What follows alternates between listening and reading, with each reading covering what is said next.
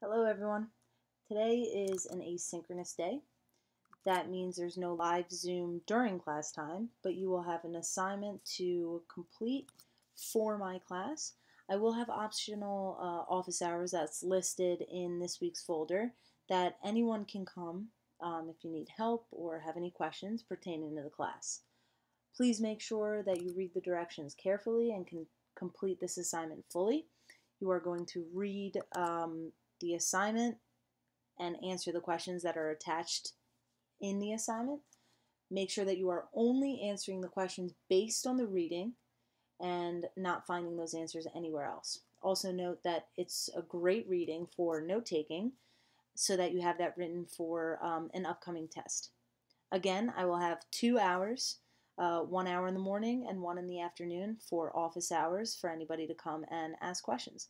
They are optional hours for you guys to come and ask those questions or get help, whether it be a review or a reteach of any kind.